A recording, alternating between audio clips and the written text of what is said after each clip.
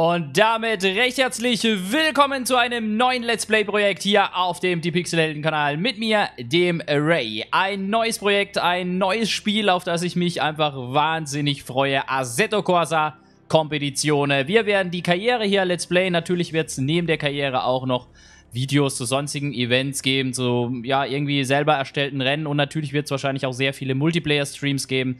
Aber dieses Let's Play wird sich jetzt nur um die Karriere drehen und äh, ich habe schon vieles Positive darüber gehört. Ich habe mir aber noch nichts dazu angeguckt. Wir gehen komplett blind rein und ich würde sagen, wir verlieren noch gar nicht so viel Zeit. Wir starten das Ding direkt und ich bin echt gespannt, was uns da, was vor allem auch mich äh, da erwartet.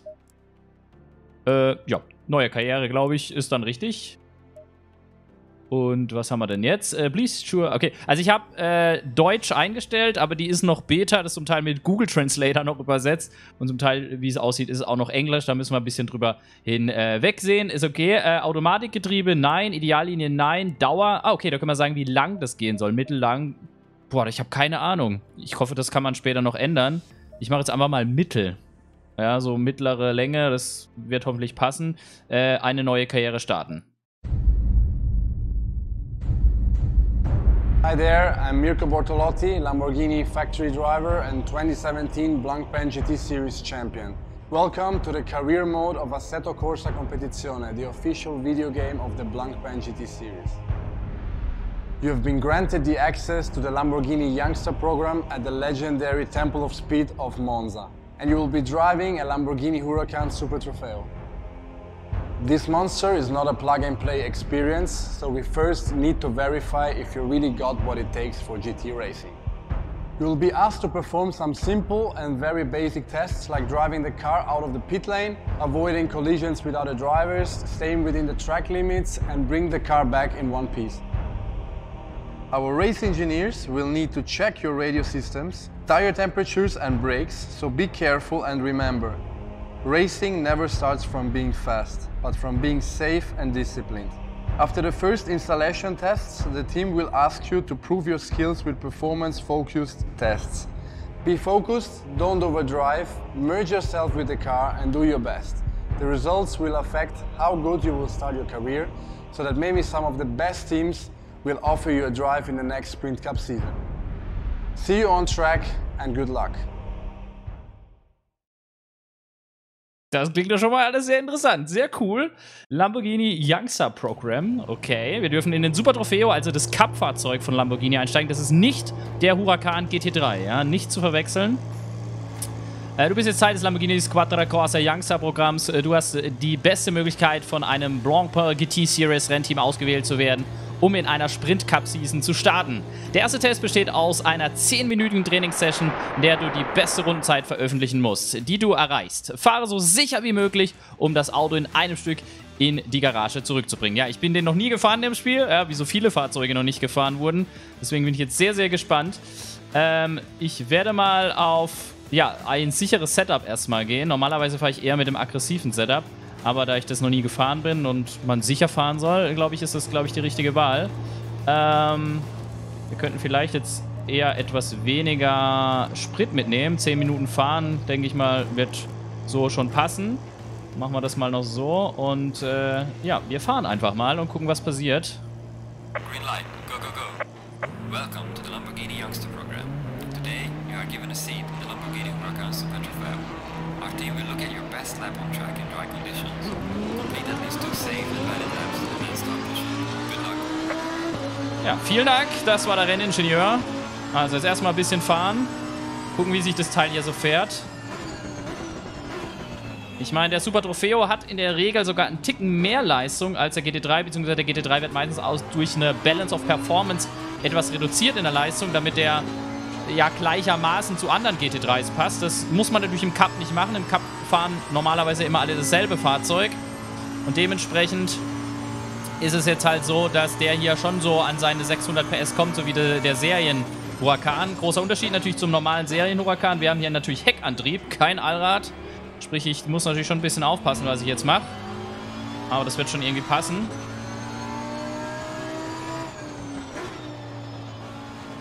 Jetzt schauen wir einfach mal.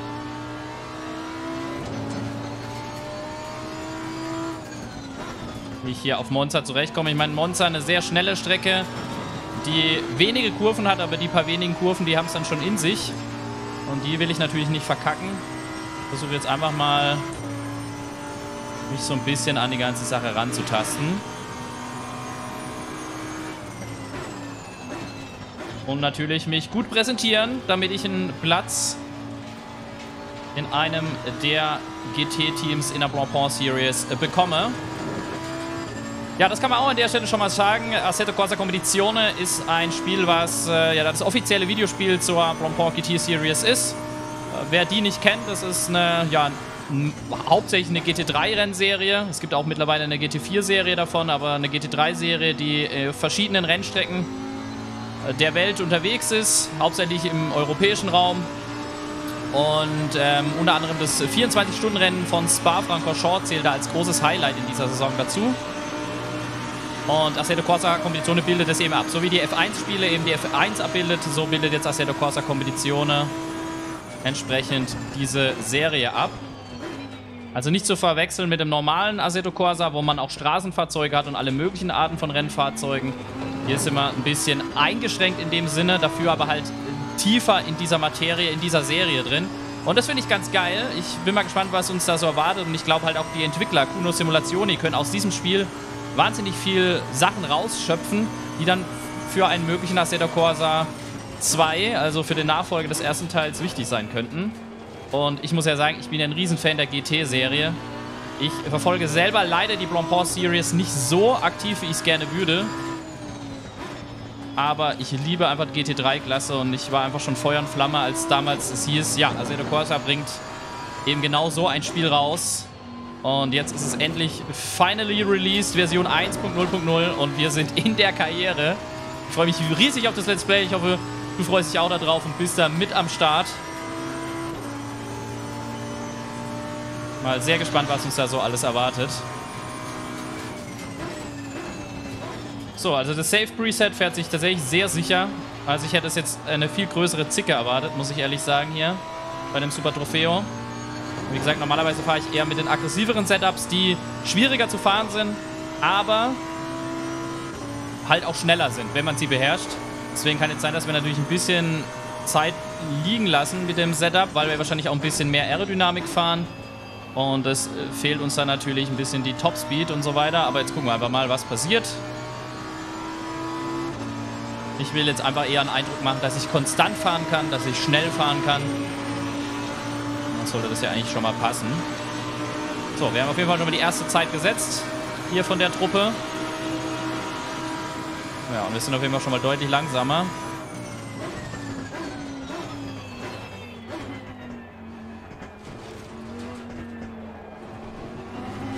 Zweieinhalb Sekunden sind wir langsamer als der andere. Okay, das ist ja schon mal nicht so geil.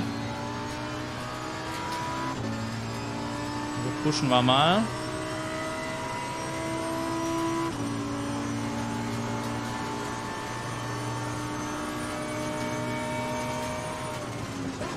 Vielleicht sollte ich auch versuchen, nochmal einen Ticken später zu bremsen. Das Fahrzeug könnte das, glaube ich, sogar ganz gut hinbekommen.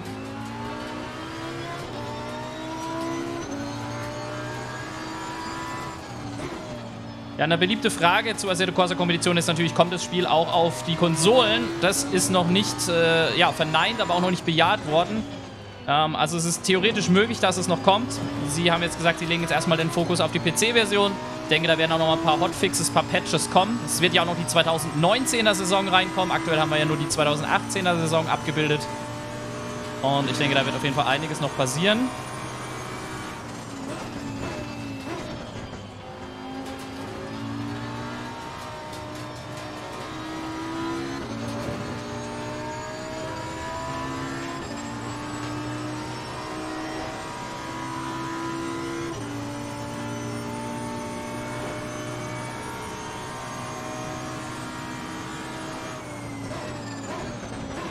Und wenn da dann alles super ist, dann denke ich mal, werden sie sich überlegen, machen wir eine Konsolenversion oder nicht.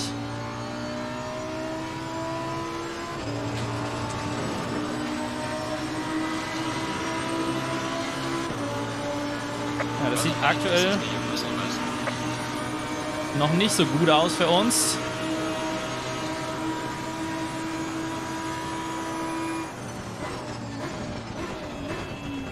So, ein bisschen später gebremst, ein bisschen härter gebremst. Ein bisschen den Körper mitgenommen. Das kostet jetzt Zeit beim Rausbeschleunigen. Ich denke, zwei Runden können wir noch fahren mit der hier.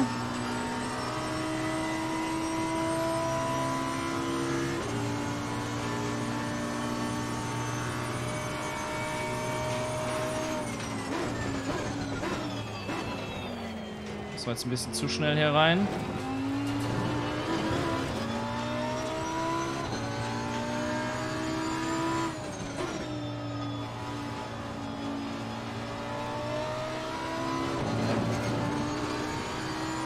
Ja, und ob natürlich jetzt ich mit dem aggressiven Setup schneller wäre, das kann man jetzt nur mutmaßen. Da darf ich mich jetzt nicht fertig machen. Ich ziehe das jetzt einfach durch. Und guck einfach, was am Ende rausspringt. Es soll ja auch eine Herausforderung sein. Also ich möchte in dem Let's Play definitiv mir das nicht zu einfach machen.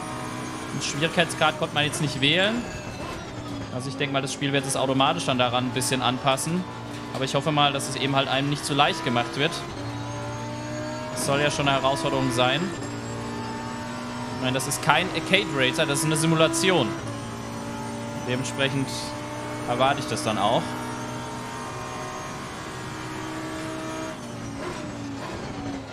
Okay, das war jetzt ein bisschen zu schnell rein.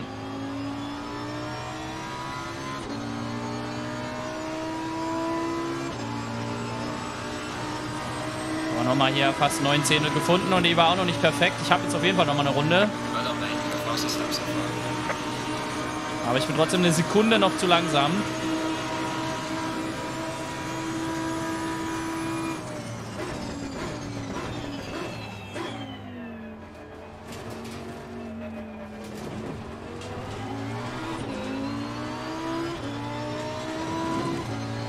Die erste Schikane habe ich jetzt nicht gut hinbekommen.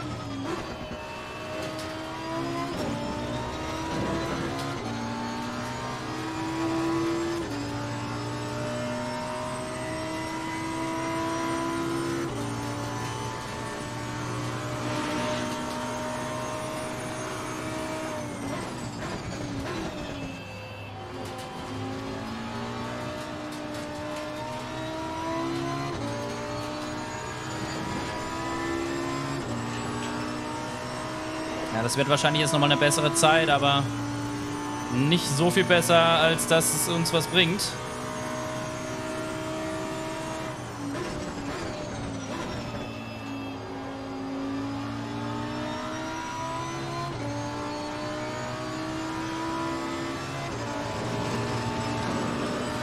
Okay, der Körper hat ganz schön gut ausgebremst.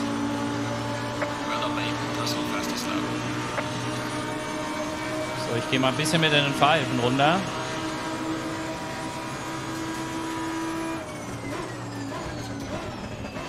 Um ein bisschen mehr vom Auto zu spüren. Ja, das war jetzt wieder zu früh gebremst. Verdammt.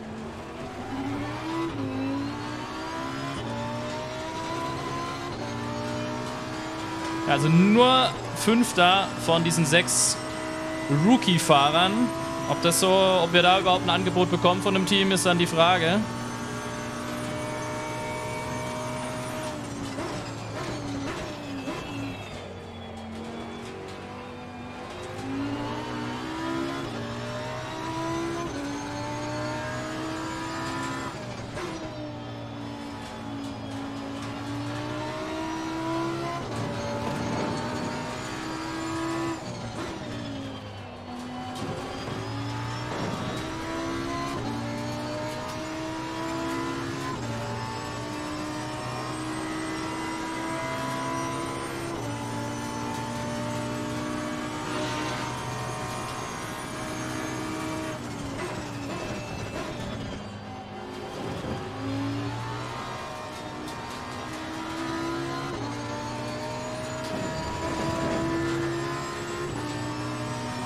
Dann haben wir nochmal drei Zehntel auf der Uhr.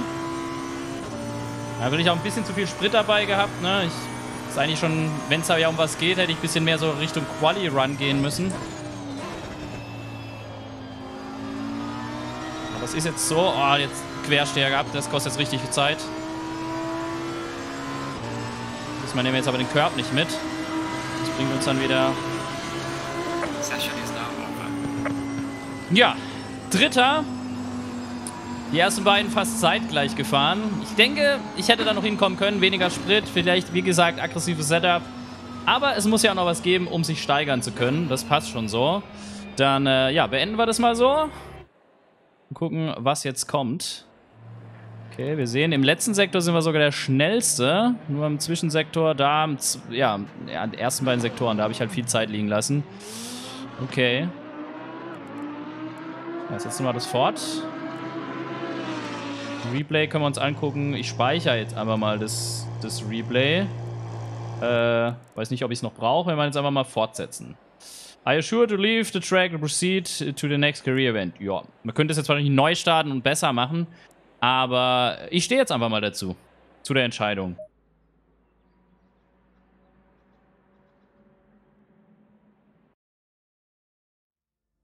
So, äh, die Vorbereitungstests führt zu den folgenden Schwierigkeiten für deinen Karrieremodus. KI-Niveau, KI können real, okay, also realistisches Ding. Fahrassistent erlaubt Kupplung, Motor starten. Ja, Schwierigkeit Pro. Was das zu bedeuten hat, weiß ich jetzt nicht. Also das ändert das hier einfach. Okay, Hard. Hard ist Niveau schnell, Kupplung, Motor starten. Okay. Nochmal, also, also es gibt einfach, Normal, Hard und Pro. Also ich habe ja schon das Höchste dann dadurch. Ich bin würdig, auf der höchsten Schwierigkeitsstufe zu fahren. Das freut mich. so, ist natürlich auch eine Herausforderung. Wir nehmen das mal an. So, ähm, Monza, jetzt kommt der zweite Test, leichter Regen. Okay, beste, äh, zeigt er können, beste Testrunde.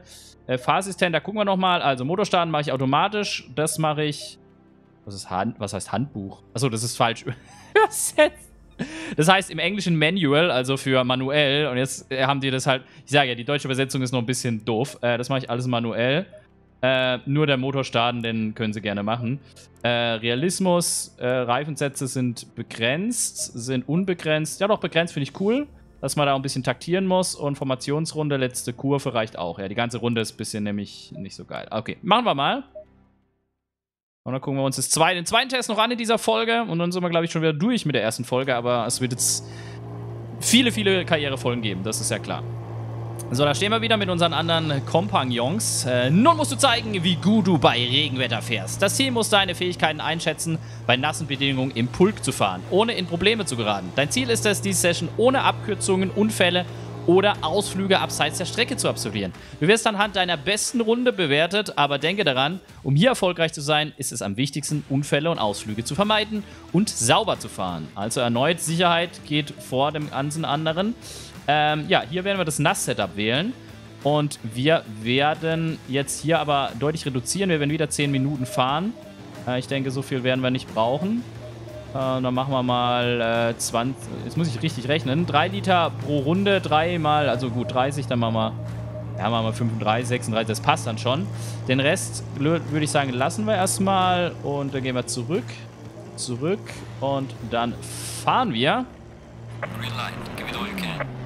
Your second test is on the wet conditions. Just focus on setting your best lap in this heavy rain and bring the car back in one piece. So, wir machen mal die Scheibenwischer an.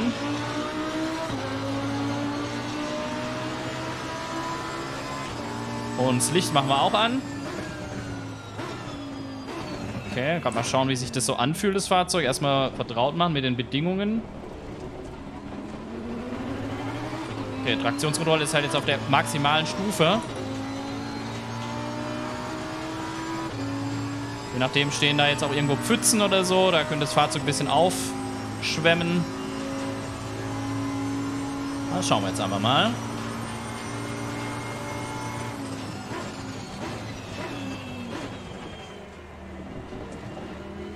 Was wir da so hinkriegen, was die Konkurrenz da so macht, wie stark die KI im Regen ist. Denn in der Early Access Phase war es so, dass die KI im Regen deutlich stärker war.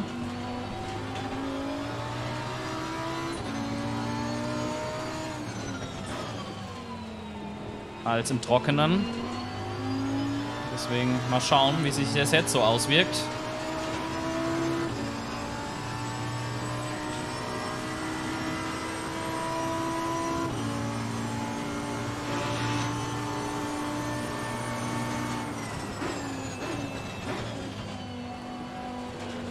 Gerbs immer ein bisschen aufpassen im Regen. Die sind dann sehr rutschig. Aber ich meine, die Regenreifen sollten ja ein bisschen helfen.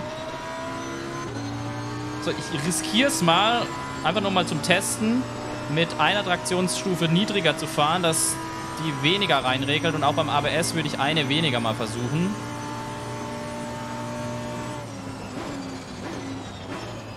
Ich denke, das ist ja immer noch ziemlich stark dann. Ja, okay, hier ist schon rutschiger, alles klar. Aber einfach so ein bisschen mehr Gefühl zum Auto und nicht, dass alles mir weggeregelt wird, fände ich schon nicht unwichtig.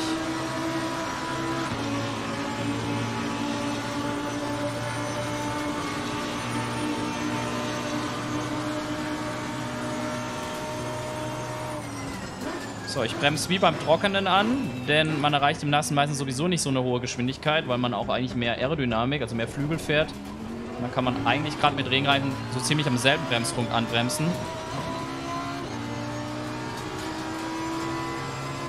Aber ich taste mich da jetzt auch langsam rein und vielleicht schaffe ich es ja auch wieder auf, die letzte Runde hier im Training nochmal eine Bestzeit zu setzen. Aber wichtig ist mir natürlich das saubere Fahren. Da wird anscheinend sehr viel Wert drauf gelegt, dass man eben keine Off-Tracks hat, dass man nicht abkürzt. Aber natürlich auch der Vergleich zu seinen mit Rookies, Junioren, die hier in diesem Programm sind. Denn man will sich ja beweisen.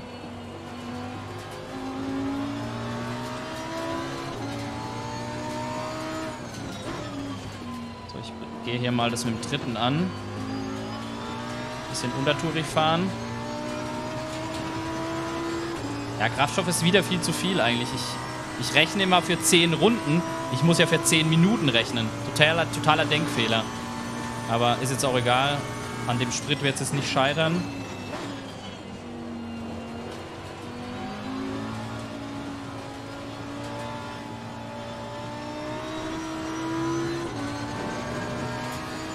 Ja, da schwimmt das schon ein bisschen auf. Gucken, die Zeit wird jetzt natürlich deutlich langsamer sein.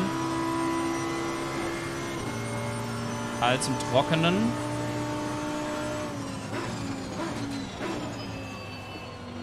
Bleiben hier auch im dritten Gang aufpassen. Langsam raus, langsam das Gas aufziehen und voll drauf. Gibt ja eigentlich im Rennen oder wenn man auf Rennstrecken fährt, so eigentlich so eine goldene Regel. Äh, wenn man einmal das Gas voll durchgedrückt hat, dann bleibt man auch drauf. Dann geht man eigentlich nicht mehr runter, weil sonst verliest du viel Zeit. Deswegen langsam aufziehen ist okay, aber dann halt voll drauf. Oder wenn man voll drauf ist, dann bleibt man voll drauf. So, dann... Ich meine, klar, es gibt immer Situationen, wo man halt doch mal lupfen muss. Es gibt natürlich auch bei manchen Strecken verzwickte Kurvenkombinationen, wo das natürlich dann auch nicht so funktioniert, wo man dann auch wieder mal ein bisschen wieder lupfen muss oder so. Aber in der Regel ist man damit auf jeden Fall schneller. Auch wenn man als Rennfahrer immer versucht, am Gas zu hängen.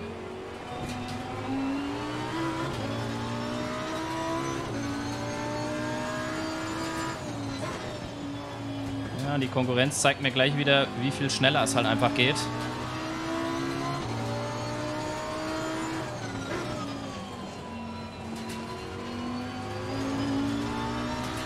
Schon gesagt, in der Early Access Phase war es schon so, dass die KI im Regen sowieso deutlich schneller ist. Und ja, ich weiß nicht, ob das geändert wurde. Das kann immer noch so sein. Dann werden wir hier sowieso kein Land sehen.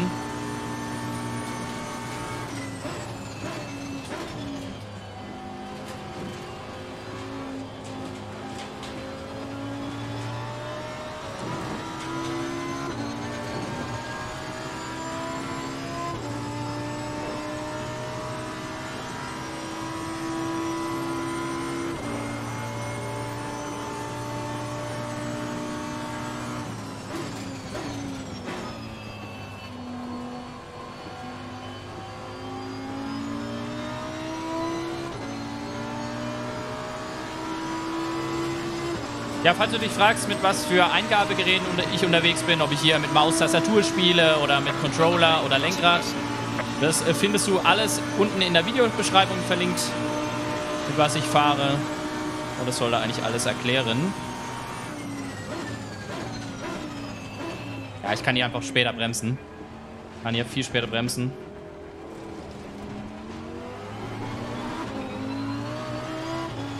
Ich denke, ich verliere in der ersten Schikane einfach schon zu viel Zeit.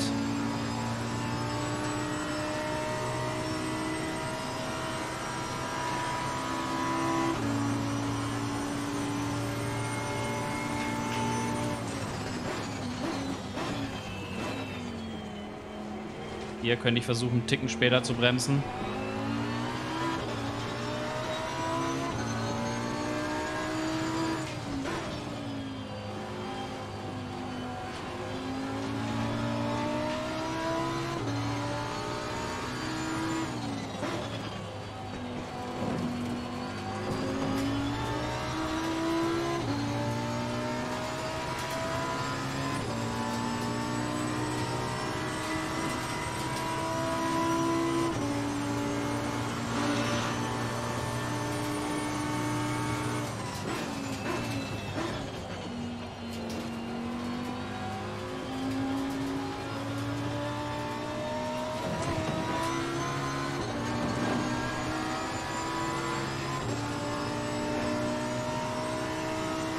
Zwei haben noch gar keine Zeit gesetzt. Von den anderen. Ich gehe jetzt aber auch mal davon aus, dass die eher schneller wären aktuell. Aber da liegt ja auch noch gut Zeit begraben.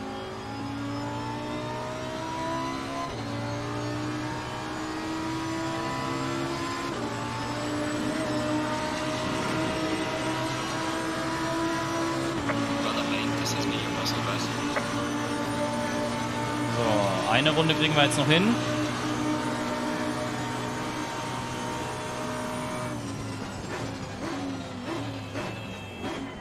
Hätten noch mal einen Ticken später bremsen können.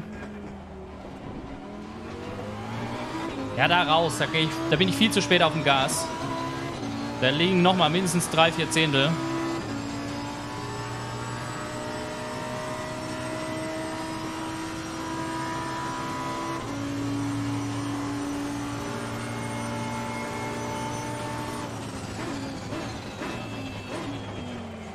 Das war jetzt dann doch zu spät.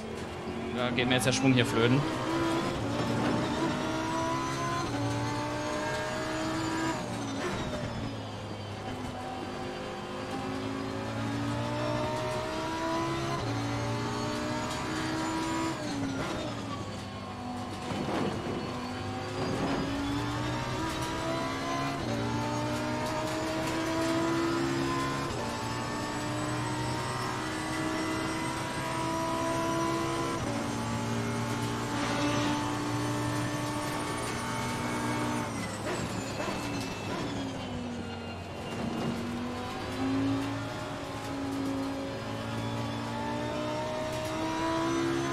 Ja, hätte ich auch ein bisschen früher ins Gas können, aber da war ich mir jetzt unsicher, ob mir da nicht ein bisschen die Traktion flöten geht. Wie gesagt, lieber ein bisschen auf Nummer sicher, nicht abfliegen. Und keinen einen Fahrer in seinem Team haben, der ein Risiko ist und ständig das Auto kaputt macht. Das kostet ja auch alles Geld. Natürlich jetzt hier im Spiel nicht, aber ihr wisst was ich meine.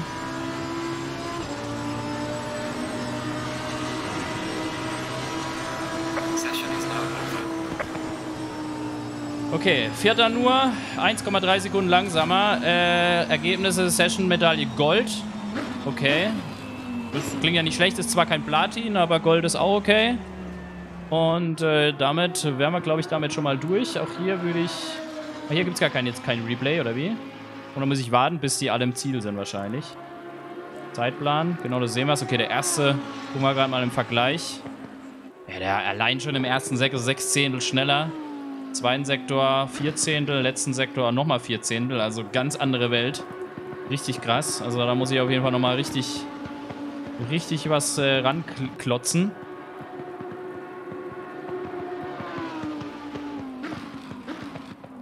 aber sieht es nicht geil aus, das Spiel. Bisschen dunkel im Regen, aber gut, so ist es halt, wenn es regnet und bewölkt ist. Muss ich jetzt auf Beenden gehen? Ich muss auf Beenden gehen. Ich, äh, Glaube ich. Ich weiß es aber nicht. Oder gibt es da noch so ein... So ein, äh, Dass es jetzt weitergeht oder so? Ich weiß es nicht, ehrlich gesagt. Der ist gar nicht gefahren. Der hat nur ungültige Runden gehabt. Okay. Ja, dann mach ich mal auf Beenden. Bestätigen. Ich hoffe, das ist das Richtige gewesen. Nicht, dass jetzt die Session nicht gespeilt wird. Ja doch, das sieht gut aus. Glaube ich. Fortsetzen, genau. Da können wir auch hier das Replay. Ich speichere es einfach mal ab. Und äh, ja, dann würde ich sagen, äh, ich mache jetzt Karriere fortsetzen, aber eigentlich sind wir am Ende. Aber wir können ja trotzdem schon mal einen Ausblick geben, was uns dann in der nächsten, in der zweiten Folge so erwartet. Bevor es dann in die richtige Saison geht. Ja, Test 3. Ja, wunderbar. Monza nochmal Lamborghini Youngster Programm Test 3 und das wird dann wahrscheinlich äh, im, äh, nee, äh, im Regen, wollte ich sagen. In der Nacht sein, da steht es auch Nachtfahrprüfung. Da können wir uns auf die Nacht freuen. Äh, sehr, sehr cool. Und äh, ja, ich würde einfach mal sagen, schaltet auch beim nächsten Mal wieder ein, wenn es hier weitergeht mit der Karriere. Ich denke mal, morgen direkt wird es weitergehen. Und äh, ich freue mich riesig drauf. Ich habe richtig Bock drauf. Und wenn es dir gefallen hat, lass gerne ein Däumchen nach oben da. Und ansonsten, wenn du Fragen oder sonst was hast, haus gerne in die Kommentare. Ich sage Tschüss an der Stelle. Bis zur nächsten Folge. Mach's gut. Ciao.